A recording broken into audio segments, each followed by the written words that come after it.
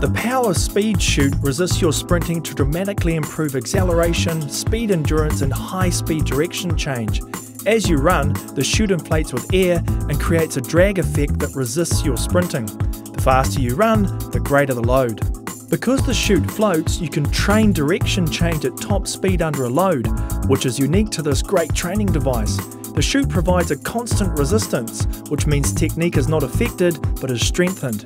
Generally, the training load when sprinting and towing the chute equates to greater than 5 kilograms. The chute can be used for varying distances of between 10 to 200 metres. Use the small chute for a light load and the large chute for a much greater drag. The small chute is recommended for younger, smaller runners. Load is progressive to the velocity of the runner.